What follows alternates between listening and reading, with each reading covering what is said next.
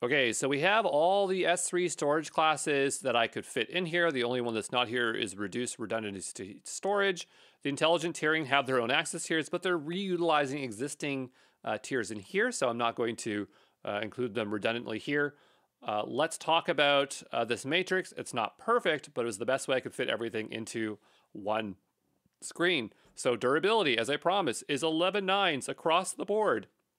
Notice I highlighted the one zones uh, because they are special. They operate in a single AZ. And because of that, yes, they have 11 nines of durability in that AZ because they're replicating copies of the data in that single AZ. But if that whole AZ goes out, you're going to lose that data.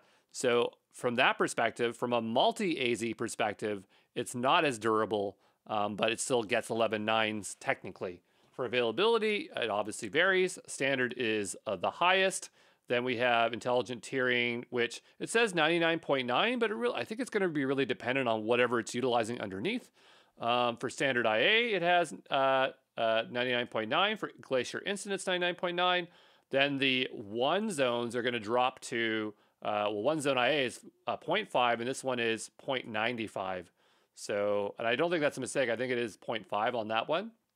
Glacier Flexible and Archive, they don't specify uh, because you don't get them immediately, right? You get them minutes later, so it's not really uh, the same level of availability, and that's why we mark them as NA.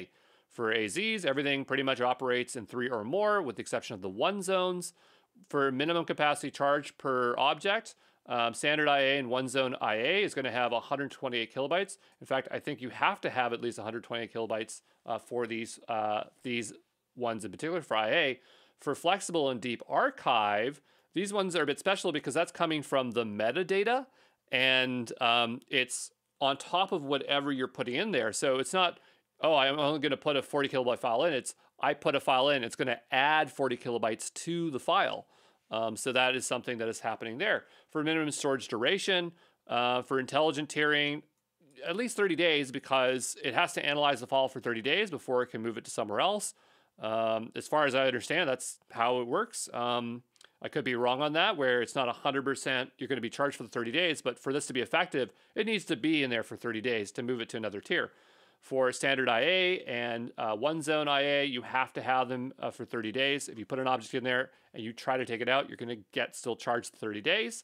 For instant and flexible, it's 90 days. For Glacier Deep Archive, it's a minimum of 180 days. And you know, if you lock down your stuff, right? It's gonna you can't get it out there for uh, you're gonna pay whatever the the the the permanent lock has in place for retention holds. So retrieval fee, um, we're only going to see those for standard IA, one zone IA, uh, Glacier Instant Flexible, all, all those archival tiers there. Uh, for uh, first byte latency, Express one zone is single digits. Everything else is milliseconds, even Glacier Instant, and then these ones obviously vary based on how fast you want your data. Um, for intelligent tiering, there's additional monitoring costs to use that um, that knowledge underneath. Remember, intelligent tiering is basically doing kind of what life cycles does, but automatically for you. And then Express One Zone has an additional charge for requests for files larger than 512 kilobytes. They want you to serve up smaller files, and they're charging you if you go for larger files. So that's the logic there. Okay.